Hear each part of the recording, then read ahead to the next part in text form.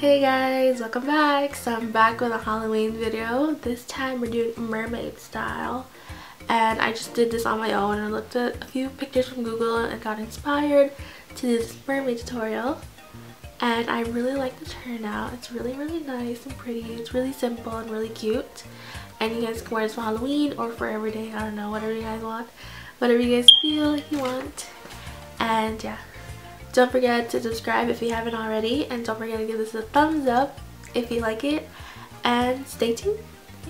And I will link everything down below where you can find everything what used. And comment down below if you have any recommendations for any videos that you want to see from me. And continue the video. So first off, I'm going to be starting off with a uh, makeup wipe just to clean off any excess dirt or makeup. Then I'm using the Neutrogena matte primer I actually really really like. And I'm just dyeing it all on my face. And then I'm using these two concealers. There's a green and an orange all over my face. And then I'm going to dab it with a sponge just so it can set in for a foundation. Using the L'Oreal True Match and the Maybelline Matte Fit Me I'm blending the two and they give me such a full coverage.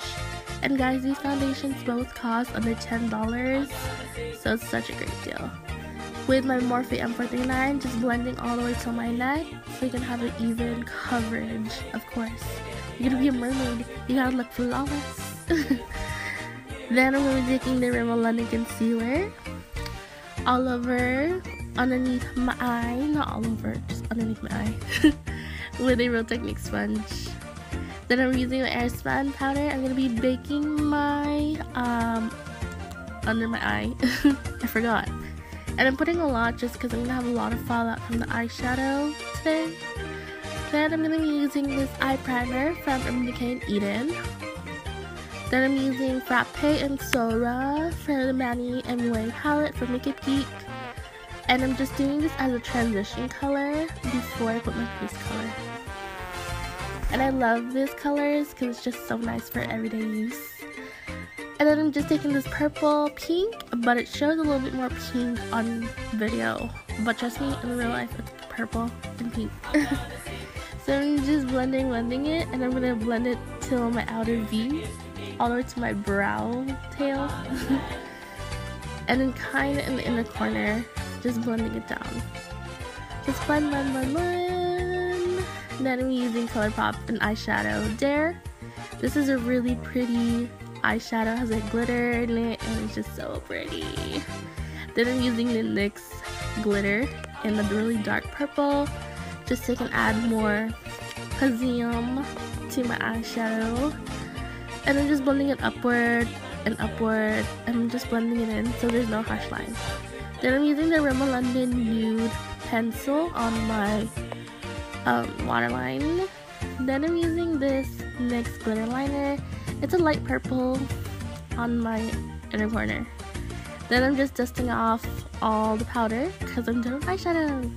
So I'm going to be using these hand fishnets and I'm just going to tape it to my face.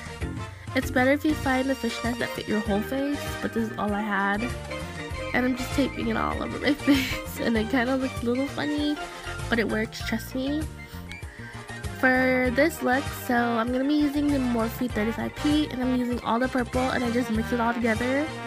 And what you want to do is just like pack it on. Like put a lot on. It's not gonna show if you're careful just put it all on. You won't mess up. Like it'll look nice either way. And just doing this as you're contouring and a little bit more on top too where you usually highlight all over. And I put it on top of my forehead and of course on the side so next I'm going to be contouring my nose just because it looks it'll look a little bit more fun. So I'm just using a lighter purple to contour. I put a little bit too much. I got carried away but girl don't worry I calmed down.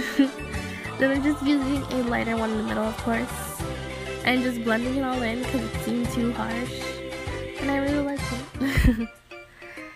so, what did I do next? I forgot. Oh, just kidding. I'm gonna cover my brows and I'm just using this NYX, no NYX, NYC foundation stick.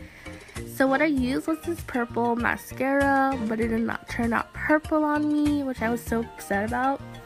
But it doesn't really matter, I just needed some coverage on my brows. And they stayed on the whole day. They looked really good. It's kind of a purple tint, not really, but yeah, it worked. Then I'm putting purple on my lower lash line just to add a little bit more depth to my eyeshadow. And I'm using this white eyeliner from NYX, just dotting it on. And guys, you can use false lashes if you want to add more pizzazz. And I put a wig on just to match my whole entire look because it looked really cute. Thanks for watching, guys.